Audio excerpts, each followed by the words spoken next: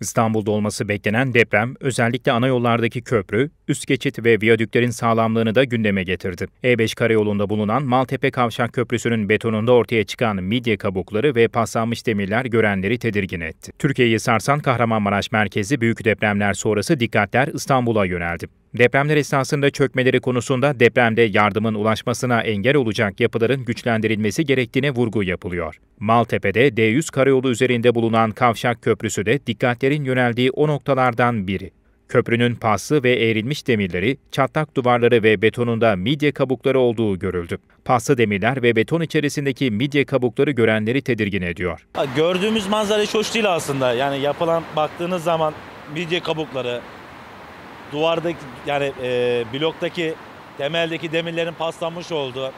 Yani bunların bir müdahale edilip elden geçilip daha güzel bir şekilde yapılmasını temennimiz, Duygularımız.